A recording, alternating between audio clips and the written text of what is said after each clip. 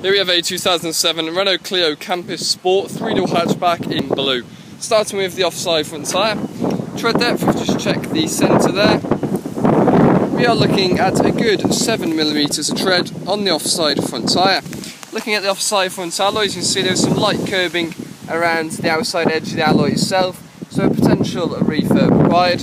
Looking at the offside of the bodywork, there is quite a few small dinks down at the bodywork of the car there. Looking around the offside front arch, looking around the archway itself, doesn't look too bad, got your mudguards on the back there.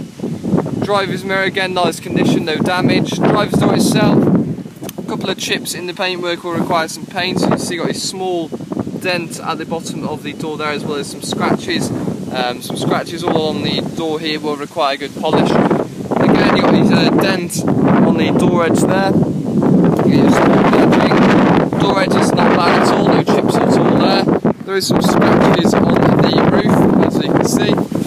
Moving towards the rear arch, again you've got scratches, you've got a very deep scratch on there as well. You can see it started to rust, took all the paint off there as well, so that's going to require some smart repair. Moving towards the rear arch, again you've got a very light scuff on the offside rear arch, or rear bumper there, sorry.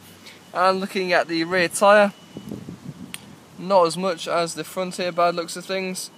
If we just take a look, there we go, we're looking at dot on 3 millimeters of tread on the offside rear.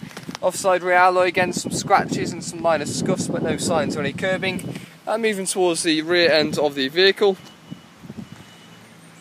Rear bumper shows that minor scuff on it, a couple of light scratches but no signs of any serious damage and it does actually look very well for its age here so really in good order at the rear bumper.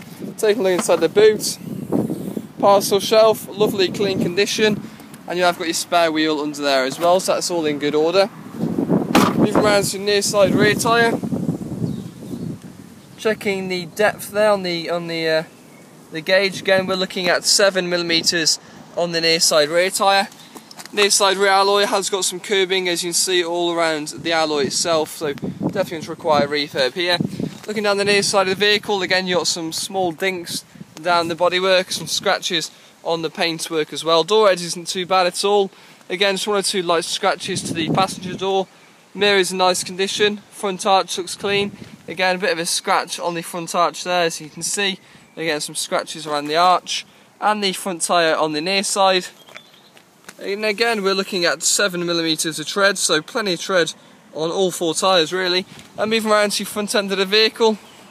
Taking a look at the front bumper. Now, there is one or two stone chips there and then you've got a very large scuff on the offside front quarter here that's definitely require a smart repair. Apart from that, just one or two stone chips on the bonnet and also some lacquer peel on the bonnet there as well. Taking a look at the interior of the car. As you can see, got the full blue and black cloth interior. Driver's seat doesn't look too bad at all. The bolsters are all looking well. There's a bit of a, a burn hole in there, so just be wary of that. Taking a look in the back seats.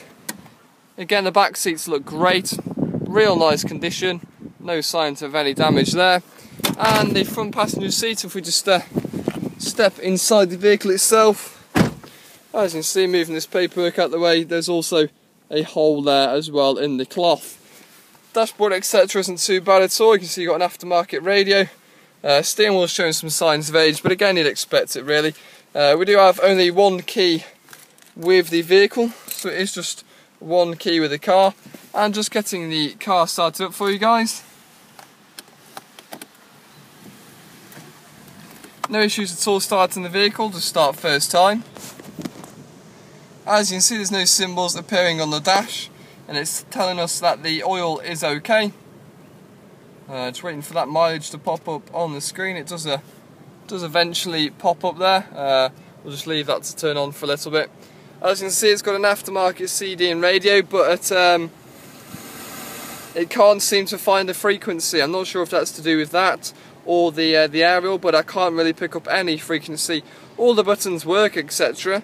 Um, I can turn it on and off, so it is working okay, uh, but it just doesn't seem to pick up any stations. Blowers work fine, but the air conditioning will need a regas. It doesn't come out very cold. And mileage, we're looking at 70,961, so not bad at all for the vehicle's age. Apart from that, it's manual transmission, bit of wearing around the gear stick. Looking at the V5 of the vehicle, the car's had two owners, so two owners on the vehicle. MOT expiry date here till Feb 15th, 2016, so you get a year's MOT on the car. And service history now is only partial. Uh, your first note is 16, uh, your second one now at 38. Um, so it is only partial service history, there's no other service book. There you go guys, for the money, you're paying for what you get and it is a lot, it is a lovely car for the money. Um, it's, it's not in bad condition at all, just a couple of cosmetic marks, um, but you can tell it's been looked after and um, yeah, like I said, it's a 2007 Renault Clio Campus Sport.